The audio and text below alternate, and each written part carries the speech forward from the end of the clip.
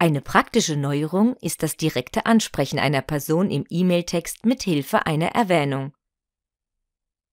Geben Sie das Add-Zeichen ein und wählen Sie aus der eingeblendeten Liste die gewünschte Person aus. War die Person bisher nicht als Empfänger eingetragen, wird sie nun automatisch in das Feld An übernommen. Dies gilt auch, wenn sie vorher als Kopieempfänger oder als Blindkopieempfänger eingetragen war.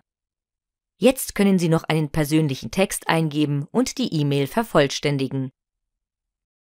Erhalten Sie eine E-Mail, in der Sie erwähnt wurden, erkennen Sie dies im Posteingang am Ad-Symbol. Möchten Sie alle E-Mails anzeigen lassen, in denen Sie erwähnt wurden, können Sie über den Pfeil neben der Schaltfläche schnell den entsprechenden Filter wählen